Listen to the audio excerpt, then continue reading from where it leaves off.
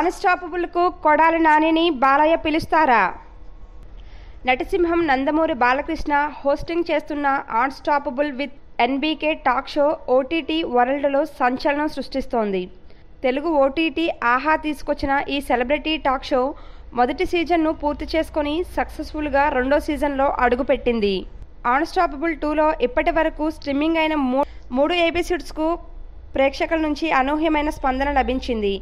First సీజన్లో సినీ సెలబ్రిటీలు మాత్రమే గెస్టులుగా హాజరవ్వగా ఈసారి మాత్రం రాజకీయ నాయకులు కూడా పాల్గొంటారని నిర్వాహకులు హింట్ ఇచ్చారు unstoppable with NBK two talk show మొదటి ఎపిసోడ్కు చీఫ్ గెస్టుగా తెలుగుదేశం అధినేత నారా చంద్రబాబు నాయుడు హాజరయ్యారు.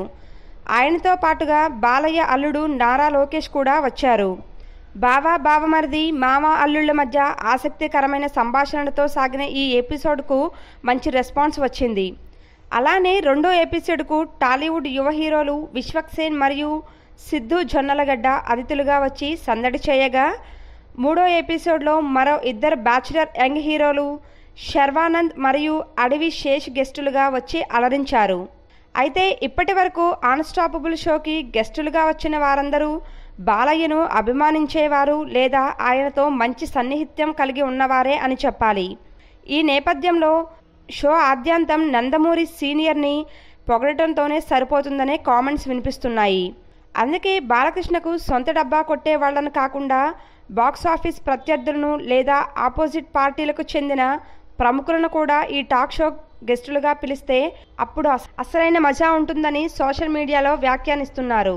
ప్రత్యర్థి పార్టీకి చెందిన కొడాలి నాని లాంటి లీడర్స్ని పిలిచి బాలయ్యతో చిట్ చాట్ నిర్వహించే ధైర్యం చేయగలరా? అని కామెంట్స్ చేస్తున్నారు. ఒకవేళ నిజంగానే అలాంటి వారిని పిలిచి టాక్ షో నిర్వహిస్తే అప్పుడు king of all talk shows అనిపించుకుంటుందని Balayya స్టైల్లో చెప్పాలంటే అమ్మ మొగుడ ఫాల్ టాక్ షోస్ అవుతుందని అంటున్నారు.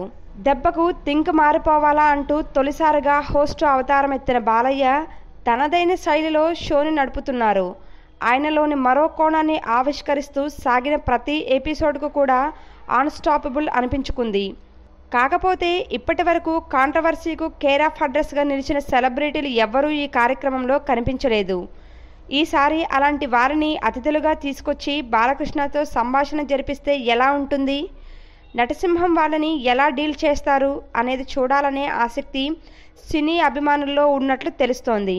మరి రానున్న రోజుల్లో అన్స్టాపబుల్ షోకి బాలయ్య ప్రత్యర్థులను కూడా తీసుకొచ్చి ఆహా అనిపిస్తారేమో చూడాలి.